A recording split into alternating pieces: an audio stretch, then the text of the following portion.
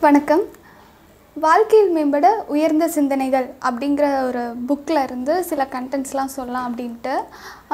இந்த புக்கோட author actually இதுதான் வாழ்க்கையில் மேம்பட உயர்ந்த சிந்தனைகள் அப்படிங்கிற புக்கு இந்த புக்கோட ஆத்தர் வந்து டாக்டர் சிவராமன் அப்படின்னு சொல்லுவாங்க. இவர் வந்து ஒரு சைக்காலஜி டாக்டர் ஸோ இந்த புக்கில் வந்து அன்பும் பயமும் அப்படிங்கிற ஒரு கண்டென்ட் அப்படிங்கிற ஒரு டாபிக் இருந்துச்சு. அந்த டாப்பிக்கில் உள்ள கண்டென்ட்லாம் ரொம்ப நல்லா இருந்துச்சு. ஸோ அதை உங்ககிட்ட டெலிவர் பண்ணலாம் அப்படின்ட்டு தான். ஓகே ஓகே அன்பில்லாத தன்மையே பயம் அப்படின்னு சொல்கிறாங்க பயமற்ற நிலையே அன்பு அப்படின்னு சொல்கிறாங்க ஓகே இப்போ வந்து ஒரு இடத்துல வெளிச்சம் வந்து அதிகமாகுது அப்படின்னு வச்சுக்கோங்களேன். ஒரு இடத்துல வெளிச்சம் அதிகமாகிட்டு இருக்கு அப்படின்னா அந்த இடத்துல இருள் வந்து கம்மியாயிட்டு இருக்கு அப்படின்னு அர்த்தம். இதே ஒரு இடத்துல இருள் அதிகமாயிட்டு இருக்கு அப்படின்னா அந்த இடத்துல வெளிச்சம் வந்து கம்மியாயிட்டு இருக்கு அப்படின்னு அர்த்தம். ஓகேவா இப்போ புரிஞ்சுக்கிறீங்கன்னு நினைக்கிறேன். இந்த வெளிச்சத்தை வந்து அன்பை அதோட கம்பேர் பண்ணிக்கோங்க. இந்த இருள் அப்படிங்கிறத பயம் அதோட கம்பேர் பண்ணிக்கோங்க ஓகேவா இப்போ நம்ம மனசில் அன்புங்கிற வெளிச்சம் வந்து அதிகமாக இருக்குது அப்படின்னா பயங்கிற இருள் வந்து கம்மியாக இருக்குது பிரச்சனை இல்லை அப்படின்னு அர்த்தம். இதே நம்ம மனசில் வந்து பயங்கிற இருள் வந்து அதிகமாக இருக்குது அப்படின்னு வச்சுக்கோங்களேன் அங்கே வந்து அன்புங்கிற வெளிச்சம் வந்து இல்லை. இப்போ அன்பு அந்த இடத்துல இல்லை பயம் எங்கே அதிகரிக்குதோ அந்த இடத்துல அன்பு வந்து ரொம்ப குறைவாக இருக்குது அப்படின்னு தான் அர்த்தம் ஓகேவா இப்போ இதுக்கு ஒரு நல்ல எக்ஸாம்பிள் கூட சொல்லலாம். ஸோ வந்து இந்த ஒரு சின்ன லவ் ஸ்டோரி அந்த மாதிரி வச்சுக்கலாமே.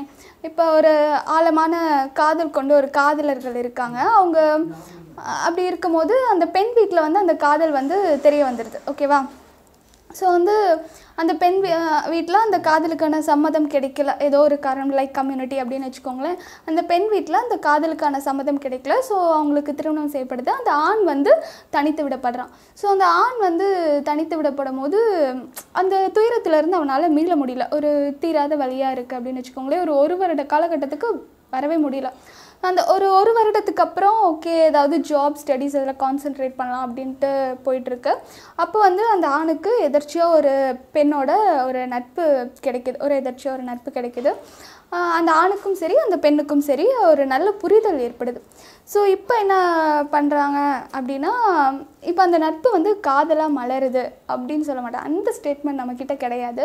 ஸோ அந்த ஆணுக்கும் சரி அந்த பெண்ணுக்கும் சரி ஒரு நல்ல புரிதல் இருக்குது அந்த ஆணுக்கு வந்து அந்த பெண் அந்த பெண் வந்து நமக்கு வாழ்க்கை துணையாக வந்தால் நல்லாயிருக்கும் அப்படின்னு தோணுது. ஸோ அதை வந்து எக்ஸ்ப்ரெஸ் பண்ணுறாங்க அந் அவங்களுக்கு அவங்க அவங்களுக்குள்ள ஆல்ரெடி ஒரு அண்டர்ஸ்டாண்டிங் இருக்கு இல்லையா? ஸோ வந்து அந்த பெண்ணும் அதை கன்சிடர் பண்ணலாம் அப்படின்னு பார்க்கும்போது இந்த நிலையில் அந்த ஆண் வந்து அதை எக்ஸ்ப்ரெஸ் பண்ணுறாங்க பட் ஆனால் அதை வந்து எப்படி சொல்கிறது எக்ஸ்ப்ரெஸ் பண்ணிடுறாங்க. அந்த பொண்ணும் கன்சிடர் பண்ணுறாங்க இந்த நிலையில் ஆண் வந்து தனித்து விட சாரி அந்த பொண்ணுக்கிட்டேருந்து விலகி போயிடுறாங்க. எந்த ரீசன் அப்படிலாம் சொல்ல அந்த பொண்ணுக்கிட்டேருந்து விலகி போயிடுறாங்கன்னு வச்சுக்கோங்களேன். ஸோ ஏன் வந்து இப்போ அந்த ஆண் வந்து அந்த மாதிரி செஞ்சாங்க அப்படின்னு ஒரு பேக்கப்பில் போய் பார்க்கும்போது என்ன காரணம் அப்படின்னா பயம். அப்போ அந்த முதல் காதலில் அந்த ஆணுக்கு வந்து என்ன தோல்வி ஏற்பட்டதோ அந்த அதே தோல்வி வந்து இந்த காதலும் ஏற்பட்டு விடுமோ அப்படிங்கிற ஒரு பயம். அப்புறம் வந்து அங்கே அனுபவித்த வழி வந்து இங்கேயும் அனுபவிச்ச அனுபவி அனுபவிச்சிருவோமோ அப்படிங்கிற ஒரு பயம். ஸோ இந்த பயத்தினால அந்த உறவு வந்து நிலைக்கவே இல்லை. அந்த ஒரு புரிதல் வந்து அடுத்த கட்டத்துக்கு செலுத்தப்படவே இல்லை. ஸோ அந்த பயம் அப்படிங்கிறது இது வந்து not only in this matter இந்த விஷயத்தில் மட்டும் இல்லாமல் இது வந்து எல்லா விஷயத்துலையும் நம்ம பொருத்தி பார்க்கலாம் இல்லையா? இப்போ ஒரு ஒரு பொண்ணுக்கு வந்து டூ வீலர் ஓட்ட வந்து நிறைய ஆசை இருக்குது ஆனால் அந்த பொண்ணுக்கு வந்து அதே நேரத்தில் பயமாக இருக்குது எப்படியோ வண்டியில் போய் யாராவது இடித்து தள்ளிட்டா என்ன பண்ணுறது அப்படிங்கிற ஒரு பயம் இருக்குது ஸோ வந்து அதனால அந்த பொண்ணு வந்து அதை வந்து ட்ரை பண்ணவே இல்லை. அந்த பயம் மட்டும்தான் அவங்கக்கிட்ட இருந்திருக்கு. அப்போ இது வந்து எல்லா எல்லா விஷயத்துலையும் இருக்கும் இல்லையா? ஸோ இந்த பயங்கிறது என்னது அப்படின்னா ஒன்றுமே இல்லை. இந்த பயங்கிறது நார்மலான ஒரு உணர்வு. எல்லாருக்கும் இருக்கும் தான் நார்மலான ஒரு உணர்வு. இதை எப்படி போக்கலாம் அப்படின்னா இந்த பயத்துக்குன்னு தனியாக வந்து இதை போக்கணும் அப்படின்னு எந்த முயற்சியும் வந்து எடுக்க தேவையில்ல. எந்த ஒரு விஷயத்தில் நமக்கு வந்து பயம் இருக்குது அப்படிங்கிறோமோ அப்படின்னு இருக்கோ அந்த விஷயத்தில் நமக்கு ஒரு மிகப்பெரிய அறியாமை இருக்குது அப்படின்னு தான் சொல்லணும். ஓகேவா இப்போ ஒரு விஷயத்தை பார்த்து நம்ம பயப்படுறோன்னா அந்த இடத்துல நம்மளோட அறிவு அந்த விஷயத்தின் மேல் நம்மளுக்கு அறிவு வந்து மேம்படலை அப்படின்னு தான் அர்த்தம். அப்போது பயத்தை போக்குறதுக்கு எந்த விஷயத்தில் நமக்கு பயம் இருக்கோ அந்த விஷயத்தில் நம்மளோட அறிவை வந்து மே மேம்படுத்திக்கிட்டோம் அப்படிங்கும் போது அந்த பயம் வந்து ஆட்டோமேட்டிக்காக விலகிரும். ஸோ வந்து பயம் விலகிருச்சுன்னா பயமற்ற நிலையே அன்பு அப்படின்னு சொன்னோம் இல்லையா? ஸோ அந்த அன்பு வந்து க்ரியேட் ஆயிரும். ஒரு விஷயத்தின் மேலே அன்பு க்ரியேட் ஆயிடுச்சு அப்படிங்கும்போது அதன் மேலே ஆட்டோமேட்டிக்காக ஒரு ஈடுபாடு இருக்கும். ஸோ டெஃபினட்டாக அந்த வீ அந்த விஷயத்தை வந்து நம்ம அடித்து சக்ஸஸ் பண்ணிட்டு போயிட்டே இருக்கலாம். ஸோ இதுதான் அன்பு பயம் அப்படிங்கிறது. இது வந்து இந்த அன்பு வந்து ஓகே அன்பு வந்து நம்ம எல்லார் மேலேயும் செலுத்தும் போது நமக்கு நமக்கு வந்து நன்மை தானே பயக்கணும்.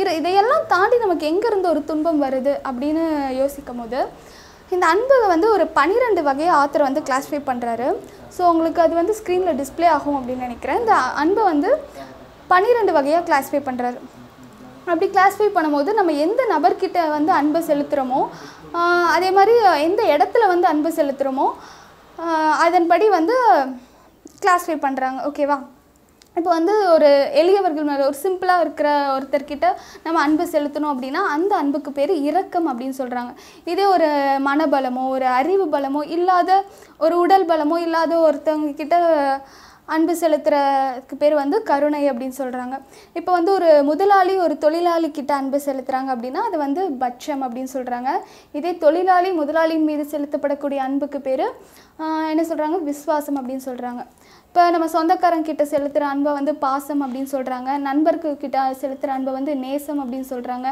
கணவன் மனைவி கிட்ட இருக்கிற அன்பை வந்து காதல் அப்படின்னு சொல்கிறாங்க அப்புறம் வந்து நம்ம சமுதாயத்தின் மீதோ இல்லை ஒரு நம்ம தேசத்தின் மீதோ செலுத்தப்படுற அன்புக்கு பேர் அபிமானம் அப்படின்னு சொல்கிறாங்க இல்லைன்னா தேசப்பற்று அப்படின்னு சொல்லலாம்.